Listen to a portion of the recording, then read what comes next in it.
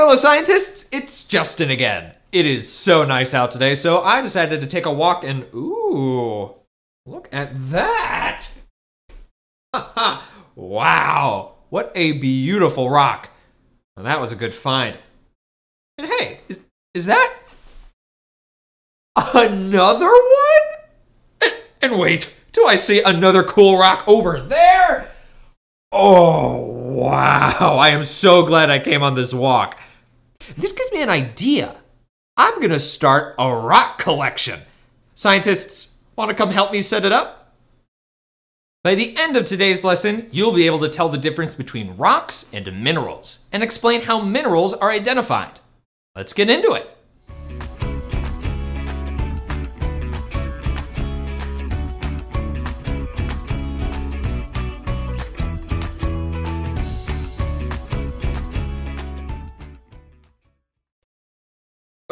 Okay, now we just need to sort all the rocks we collected.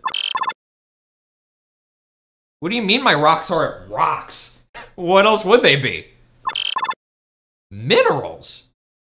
Let me take a closer look. Scientists, Mia's right. The rocks we collected aren't rocks at all. They're minerals. Rocks and minerals are a lot alike, but there's a key difference that sets them apart. A mineral is a solid, natural material that's made in the earth. Minerals are made of the same stuff all the way through. That means if you break a mineral into tiny pieces, every piece is still the same material.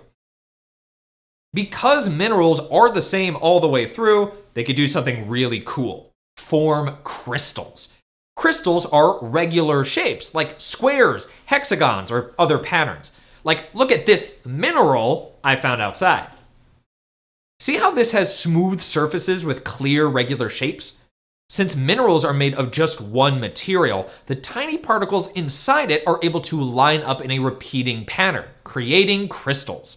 That's how we get amazing structures like these fool's gold cubes and crystals with faces that look like hexagons, like this aquamarine. So, how do you think rocks are different from minerals? Just like a mineral, a rock is a solid natural material, but a rock isn't made out of just one material. A rock is actually made out of a combination of minerals. Take a close look at this rock. What do you notice? Pause the video and record your thoughts in your guided notes.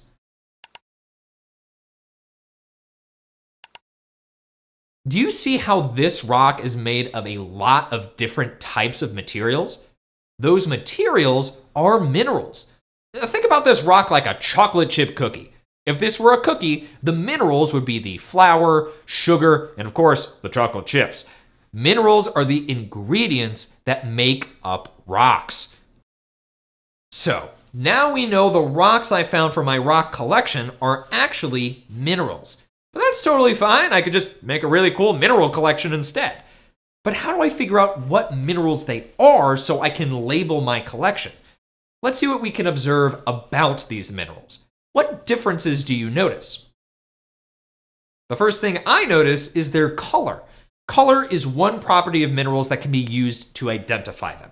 Minerals come in all sorts of colors, like green, purple, or even gold. Some minerals are brightly colored, like emerald or amethyst, while others are more subtle, like this feldspar. This mineral I found has a really cool color, a mixture of green and blue. But the other two minerals' colors are really similar. I guess color isn't always enough to identify a mineral. We need to look at some other properties to tell them apart. Like luster. Luster is how a mineral reflects light, or simply put, how shiny it is. Minerals can have a bunch of different types of luster. Minerals with a metallic luster are shiny like metal, like the mineral gold. A glassy luster is smooth and shiny, like glass. Minerals with a glassy luster, like topaz or emeralds, are often used in jewelry. A pearly luster has a soft, gentle shine, like a seashell or a pearl. Talc, which is used to make things like baby powder and makeup, has a pearly luster. Minerals with a dull luster aren't shiny at all. Gypsum, which is used to make chalkboards, has a dull luster. It looks like all three of my minerals have a glassy luster, so we'll need to look at some other properties to identify them. Sometimes the luster or shape of a mineral can change how their color looks. Luckily, there's another property we can test streak. Streak is the color of a mineral when it's ground into powder. It's kind of like a mineral's true color because it doesn't always match what you see on the outside. Take pyrite or fool's gold, for example. It's called that because its color and luster makes it look like, well, gold. What color streak do you think pyrite would have? But pyrite streak is actually a greenish black streak. Real gold leaves a golden yellow streak behind. What color streaks do you think my minerals will have? Let's test it out. If we rub each one across a hard surface called a streak plate. Wait, what? All three have a white streak. Wow, that was unexpected. Well, we know the color, luster, and streak of the minerals, but we still don't have enough information to tell exactly what they are. Luckily, there's one more mineral property we can use to figure this out hardness.